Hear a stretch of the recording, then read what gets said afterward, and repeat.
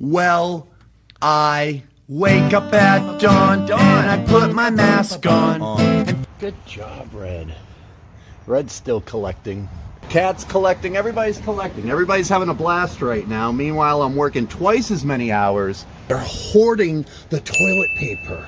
Like they hide it in the freezers and then they yell at us when we go in the freezers trying to look for stuff that we need because we pick orders for online customers for Amazon Prime. And then they're like, get out of the freezer. And we're like, why are you guys being so weird now? And there's like a stash of toilet paper in the freezer.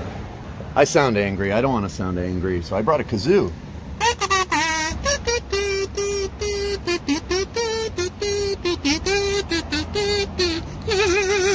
They're letting less people in, even though the line's not big, and they're letting everybody back in at Ralph's. I mean, what is this? Is it like a country club here now?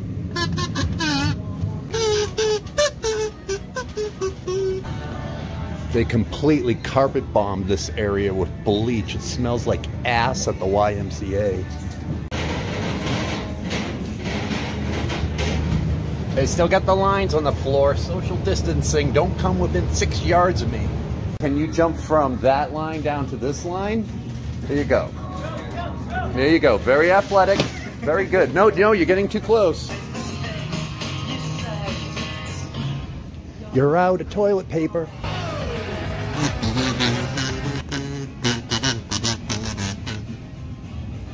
Who even wants to shop anymore in the aisle that smells of ass? This has nothing to do with the coronavirus, I'm sorry, but why are they calling the chicken feet paws? Makes me think of my cat, like cat feet.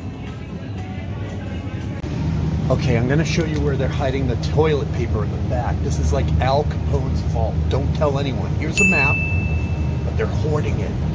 These guys are selling it on the open market. One roll of toilet paper is worth an 89 Ken Griffey Upper Deck rookie card.